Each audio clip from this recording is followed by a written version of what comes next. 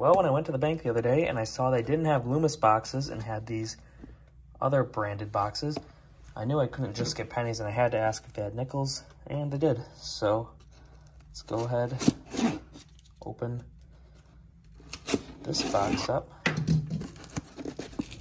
A lot easier than a Loomis box, and all the rolls are on their sides. They're not all uncirculated, so we can go ahead and start on our first roll. Just poured the box out so I can put the coins back in, uh, back in here. And you can see there are two loose dimes, I mean nickels, just like, just like the penny box had two loose pennies in it.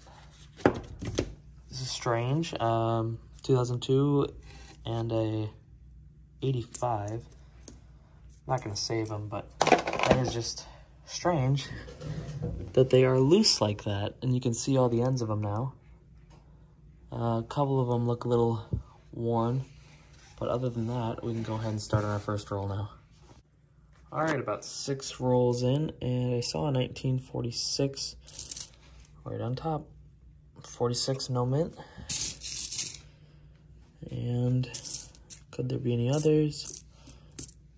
65 and 70. So, on to our next.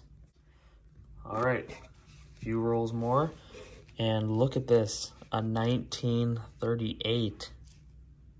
No mint mark. 1938, first year of the Jefferson. That is a really cool find. Put it with our 46 and we'll get into our next roll. Just a few more rolls later and another 46. Right here.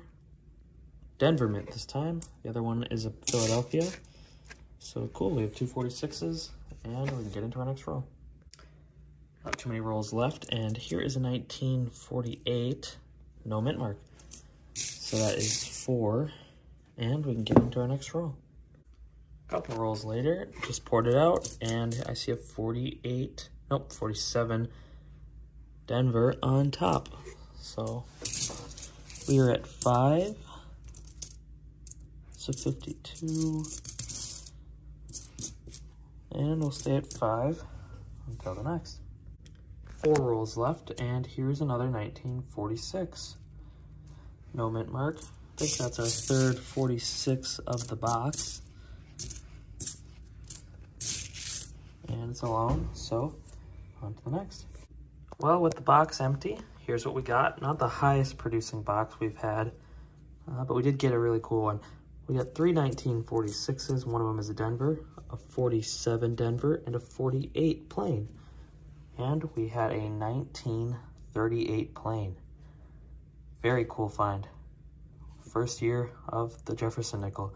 So, thank you for watching. Please like, comment, and subscribe.